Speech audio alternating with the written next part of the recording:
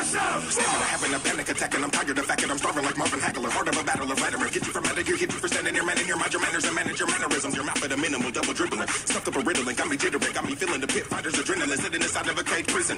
Shank sharpening, bank targeted. Stamina having a panic. attack, and I'm not gonna have it. Fresh out of fucks, and I make it happen. I don't trust anybody to back to me. Not give it a fuck. I practice. I'm a sinner.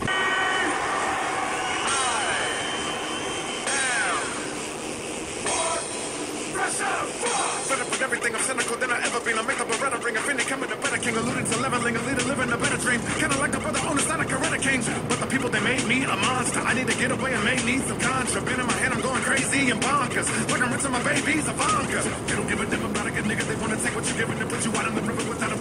But I give you that if you answer, fallacy, give it, but